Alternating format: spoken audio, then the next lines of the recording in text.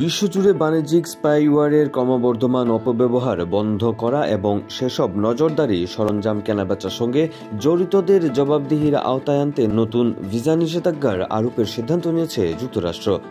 State ডিপার্টমেন্টের দেয়া বিবৃতিতে এইসব কথা বলা হয়েছে। বিবৃতিতে বলা হয়েছে, যেসব দেশ স্পাইওয়ারের অপব্যবহার করে নাগরিকদের নির্বিচারে আটক, জোরপূর্বক গুম এবং বিচার বহির্ভূত হত্যাকাণ্ডের মতো ঘটনায় জড়িত, সেসব ব্যক্তিদের ওপর ভিসা নিষেধাজ্ঞার আরোপের ঘোষণা দিয়েছে যুক্তরাষ্ট্র।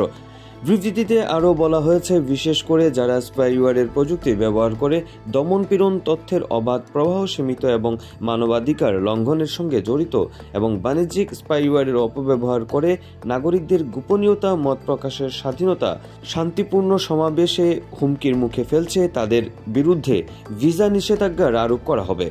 বিবৃতিতে দেশটির পররাষ্ট্রমন্ত্রী অ্যান্থনি ব্লিংকেন বলেন, যারা বাণিজ্যিক স্পাইওয়ারের অপব্যবহার করে সাংবাদিক অধিকার কর্মী ভিন্ন মতাবলম্বী এবং অন্যান্যদের লক্ষ্যবস্তুতে পরিণত করে তাদের নির্বিচারে আটক, হয়রানি এবং বেআইনিভাবেই নজরদারি করছে।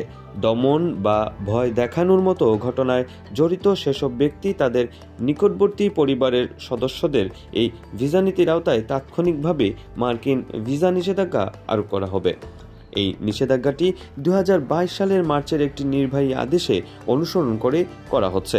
এর আগে দু হাজার একুশ সালের নভেম্বরে মার্কিন বাণিজ্য বিভাগ ইসরায়েলের এনএসও গ্রুপ প্রাইভেট ইকুইটি কোম্পানিকেও এই অপরাধে কালো তালিকাভুক্ত করে। অবশেষে নতুন ভিসা নিষেধাজ্ঞার ঘোষণা দিল যুক্তরাষ্ট্র।